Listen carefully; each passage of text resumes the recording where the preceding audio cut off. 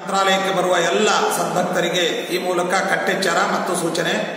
Corona ವೈರಸ್ಸಿನ ಪ್ರಭಾವವು ದೇಶದ ಎಲ್ಲೆಡೆಯಲ್ಲಿಯೂ ಕೂಡ ತುಂಬ ಉಗ್ರವಾಗಿರೋದ್ರಿಂದ ಇದೆಲ್ಲ ಶಾಂತವಾಗುವ ತನಕ ಮತ್ತೆ ಆರೋಗ್ಯ ಶಾಖೆಯವರು ಸೂಚನೆ ಕೊಡುವ ತನಕ ಮಂತ್ರಾಲಯಕ್ಕೆ ಯಾವುದೇ ತರಹದ ಭಕ್ತರು ಕೂಡ ಸುತರಾಂ ಬರುವುದು ಬೇಡ. ಅಲ್ಲಲ್ಲೇ ರಾಯರ ಸೇವೆಯನ್ನು ಮಾಡಿ ರಾಯರ ಅನುಗ್ರಹಕ್ಕೆ ಪಾತ್ರರಾಗಿ ಮಂತ್ರಾಲಯದಲ್ಲಿ ಎಂದಿನಂತೆ ಪೂಜಾರಾಧನೆಗಳು ನಡೆಯುತ್ತೆ.